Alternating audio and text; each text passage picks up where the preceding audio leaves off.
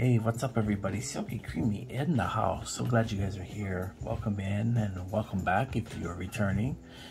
My name is Silky Creamy for those that are new. I do uh, shaving review videos uh, where we get up and close and personal with the products and uh, we take a deeper dive and try to get a better idea of what uh, what the products are and if you're considering uh, purchasing it and want to be curious to know more details about a product um, that's kind of the genesis of this uh, channel. Um, that's really the reason why I started doing this. So uh, if you're returning I appreciate you guys so much. You guys have no idea. I really really do appreciate you all. Um, we've got a little community here folks and um, we're learning about scents and we're learning about soaps and um, we're getting closer look uh, we're, we're, getting a deeper look at um, the product itself and oftentimes we're finding things that we didn't really know about and um, some pretty cool things too and um, the I know the artisans are appreciating these videos because they put a lot of heart and soul into these products and some of them have really put some time and effort into the labels and um, and into the, the product packaging, which is the product, right? Every aspect is part of the product, and so yeah, we're we're we're beginning to see some new things. So anyway, today we're going to be reviewing cold spices from Phoenix Artisan Accoutrements. So um, right off the bat, you can see the ship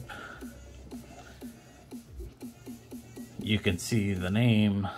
So this is clearly a homage to Old Spice, I think. I'm pretty sure it is. Let us go ahead and take a deeper dive into the label because sometimes we find things we've never seen before. So pretty detailed work on the mass and sails of this ship. Okay, there's the Loch Ness Monster right? Where's the cube? Is that the cube? Is that the woolly mammoth? Big waves happening here. This may be pre-cube. This label may be pre-cube.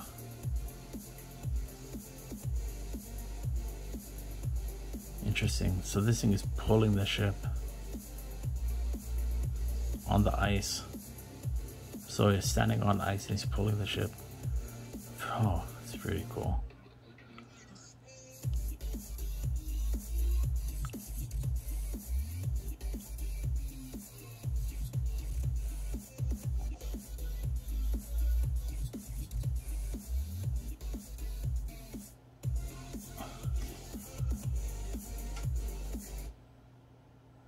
Okay, that music was irritating. Sorry.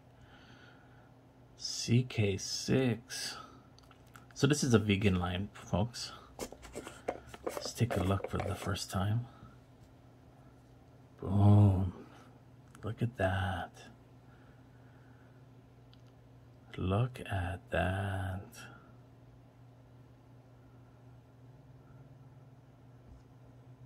It's a nice cratering happening in this, um, you know, the canyons that are typical for CK6. Nice color. But this has more, um, um, yeah, interesting pour. Let's do our first scent, this first smell. Hmm. Yeah, this is Old Spice. This smells like the old Old Spice. I'm not sure what formula. We'll find out. I'm sure he's gonna put it in in the um on uh he has it listed on the website, but this is definitely old school old spice. Smells really good. Um this smells like what my father used to wear. Um so this is yeah, really good vintage. All right, let's go ahead and read. So he writes, um, boom, another Phoenix shaving classic, now in Formula CK6 Cold Spices. He says, prepare for a mentholated twist on a real classic. Oh, interesting, there's menthol. He goes, uh, note, soap is lightly mentholated. Scent profile, orange, spices, aldehydes, sage and clary sage. Carnation, geranium, heliotrope, cinnamon, and pimento berry. Ambergris, frankincense, vanilla, cedarwood, musk, benzoin, and tonka.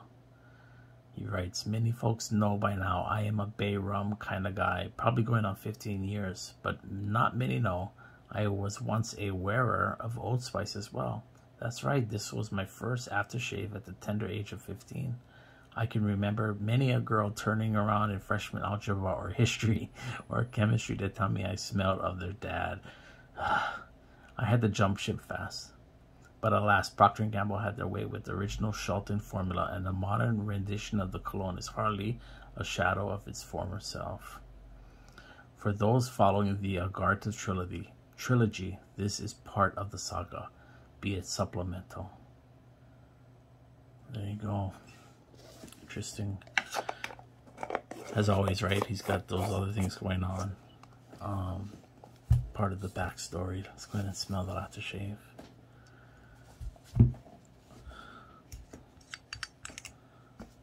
Okay, so typical label. Ooh, no reducer on this guy.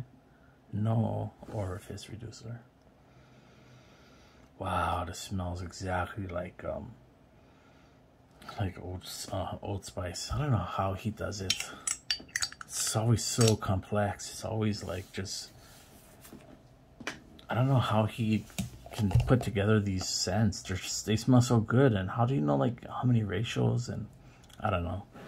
This guy is a master. Douglas is amazing. Anyway, this is Cold Spices, guys. This is your Old Spice rendition. Homage to the old Shulton formula. So as always, I appreciate you folks stopping by. If you guys have tried this one, let me know. I'm going to be trying this pretty soon. I didn't realize there was some menthol on here. But uh, it smells wonderful. It smells exactly like Old Spice. So as always, as always, take care of one another. Be safe out there. Be cool this summer. And as always, um, try and make someone's day today or tomorrow, right? Let's try and do that. All right. Take care, folks. Peace.